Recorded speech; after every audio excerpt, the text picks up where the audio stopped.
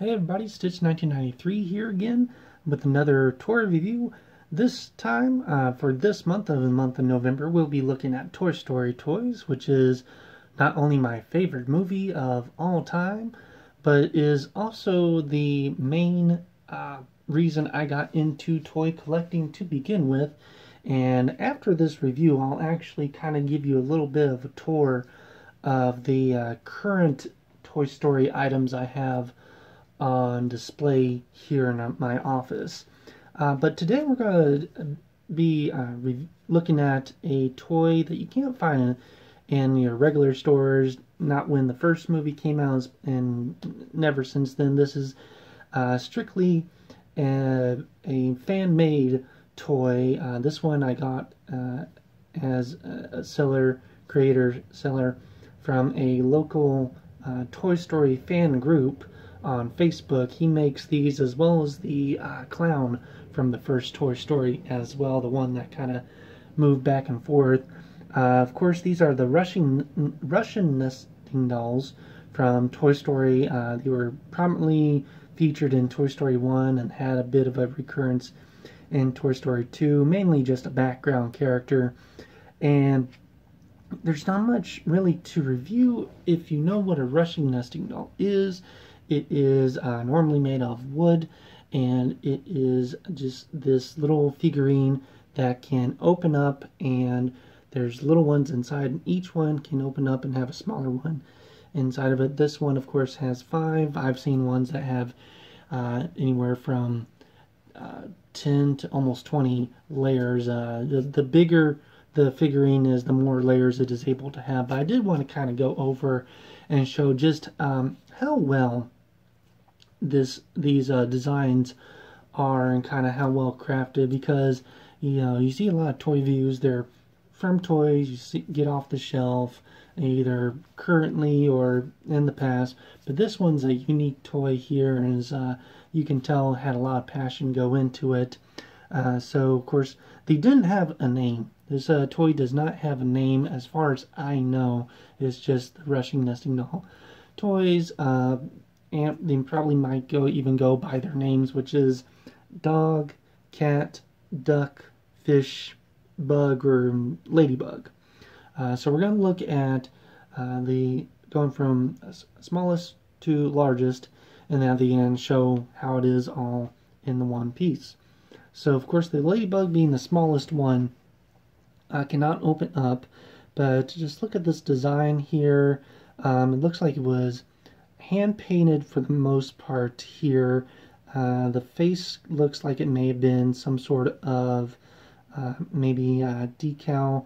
It does have a little bit of edge to it that might have been uh, glued on, and then the whole uh, figure is then just made finished off with this nice wooden gloss here, and the bright the the colors are really nice uh, brightness to them. the next one is the goldfish and this is one of the first ones we are able to actually open up and take a look inside. Now I'm not sure if this person hand carved these uh, wooden uh, uh, uh cups or if this was uh, pre-made and then he was he or she would just painted over them. Uh, haven't seen any Russian nesting dolls in like craft stores in this shape. They normally come in what you'll see is kind of the peanut, what I like to call the peanut shape, the, the doll shape to it here. Um, but again, if this is, uh, even if it isn't, this is just really nice, smooth craftsmanship, uh, no splinters whatsoever in here. And then going back to the figurine, it closes right at the mouth there, and if you get it lined up perfectly straight, uh, you can barely even see that there's a seam other than especially right here. Again, the whole, especially with the scales, you can definitely tell it's hand painted there, but I think the wings uh, as well as the eyes are again little decals that probably were either just kind of put on there after original paint was and just kind of stuck or they were glued onto there. Either way, it's uh, oops, really nice and as you can see, very sturdy as well. Uh, these are not going to break. Of course, I wouldn't recommend these for a actual child. Uh, this is definitely more of a collector's item. This, uh, I do believe, was $150 uh, for this set, and then I think the, uh, the clown was another $150. I did not buy that, but I did always want to have these guys in my collection. Ever since the first movie, I thought these guys were the coolest, and it's a shame that uh, neither Hasbro nor Mattel or Disney themselves have ever made an official licensed version of this toy here. Uh, going on next is the duck. And this one is, of course, a bit larger. That way he is able to not only fit in the fish, but the ladybug as well. And again, we're going to open him up and look how well the inside is here.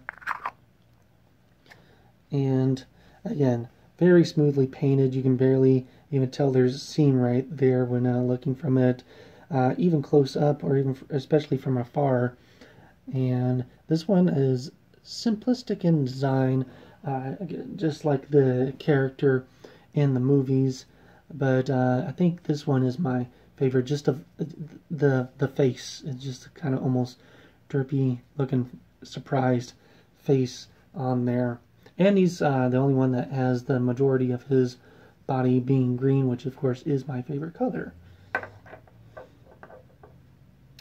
Uh, next we have the cat nice shades of blue and this one looks like it has the most use of decals on it again uh, this mouth is definitely uh, either that or it's really steady handwork there and I do apologize if I'm offending the original creator by saying these are decals if they are in fact not but they do look like decals they have little little little edge to them there I'm not sure how well you can see that but it's definitely not mesh with a lot like how the rest of the paint is. Uh, the eyes as well also bump out a lit, little bit, um, as well as the ears do.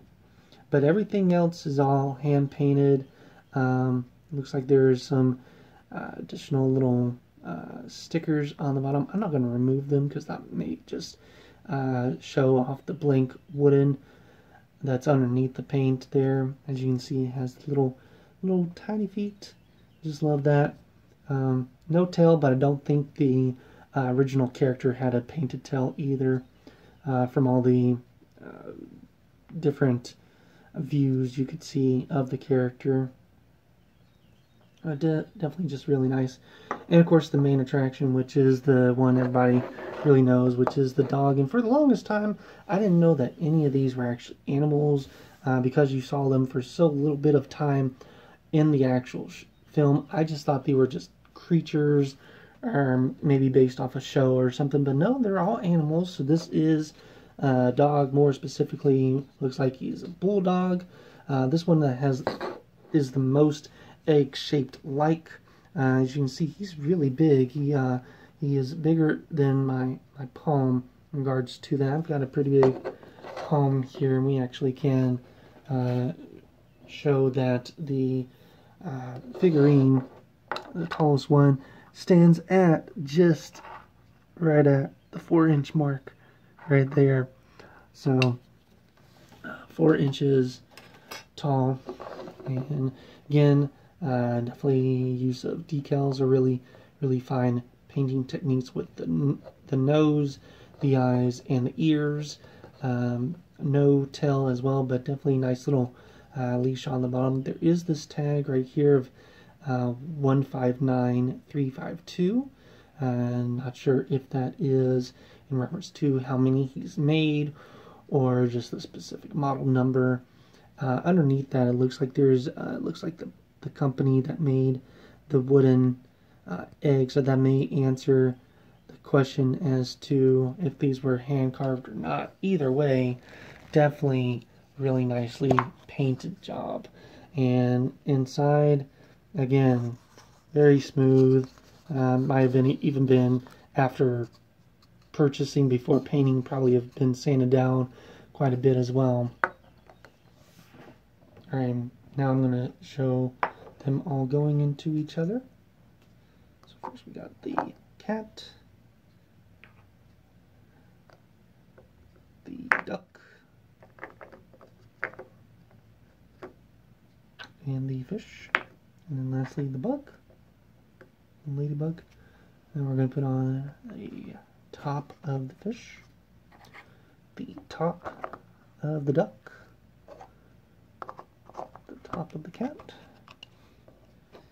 and finally the top of the dock. So there you have it. That is the Toy Story, I want to say just Toy Story 1 and 2. I don't remember him being in Toy Story 3 or 4 for that matter. Uh, but the Toy Story Russian Nesting Doll animal set here. Uh, let me know what you your thoughts are. Um, I'll, I sorry I don't have the, the link anymore where you can purchase that. I would just suggest either going on Etsy or eBay and looking up Toy Story Russian Nesting Doll. And there's uh, quite a few people that make just as well of a design of this character and this toy here. Uh, let me know what your favorite Toy Story character was.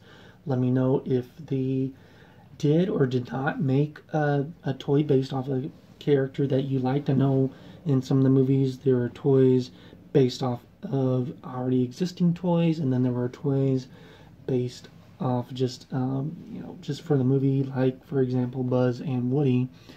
Um, so let me know in the comments section all that, as well as uh, what Toy Story toys did you grow up with, and which ones do you hope to see in this review or future in, in, this month's review or in future reviews, because I will, course, circle back to Toy Story quite a lot um, in the the next following uh, months and years uh, for toy reviews, because I do have, as you'll see here in a little bit, do have quite an extensive collection.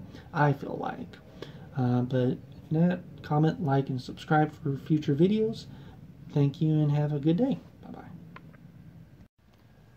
Alright, so as I said previously, I was going to show off my current Toy Story collection. Uh, now, this is just the stuff I am able to display. And I'm sorry if it looks a little bit uh, cluttered, uh, but it's all the space I have to show off uh, right now. And some of the stuff, some of the really nice, bigger items are still in storage here. So uh, first is this little uh, chest of drawers I have a good bit of stuff on.